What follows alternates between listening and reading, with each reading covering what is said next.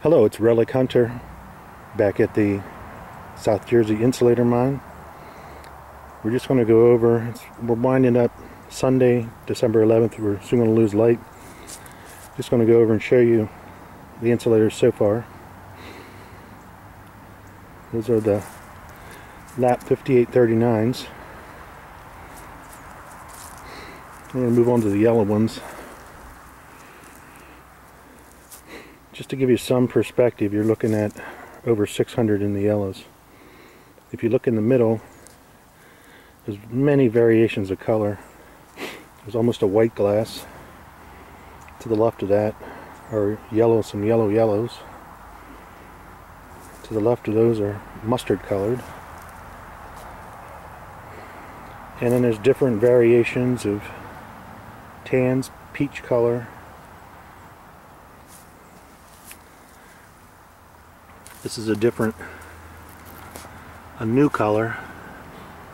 Haven't seen this particular insulator in that color. That's the first one in the whole pile.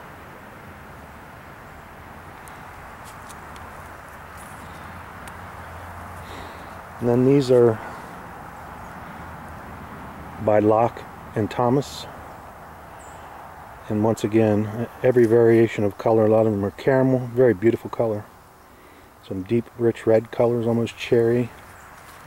There's some in there.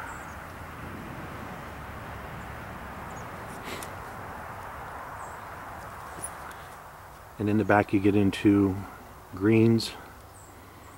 Way in the back there's white top ones. Mostly cherry beautiful pieces. And the center there's chocolate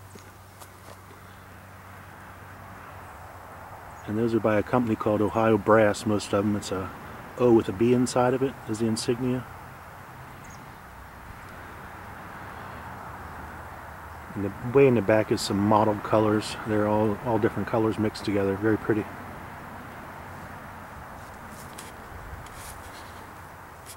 And we have larger chocolate ones with a white top.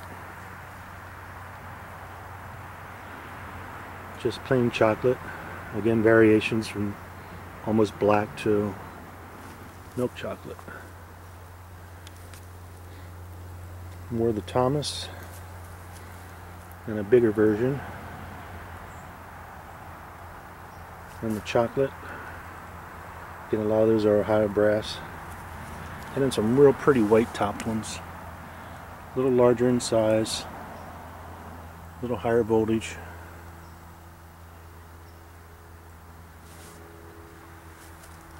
and then more of the Lapp 5839s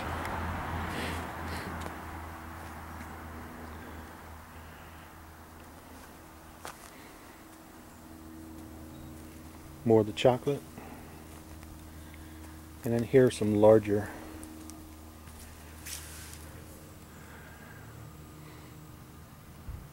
And those are Pinco and probably Ohio brass also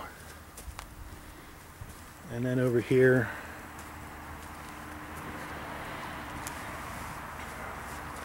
the yellow and brown round from Pinco and Cook and then the Kimble Clears.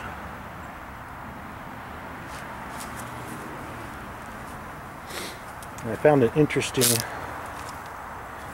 thing that happened. There's a tree that grew through the center of the pile and it actually had grown around several of the insulators. I happened to get a couple of them loose.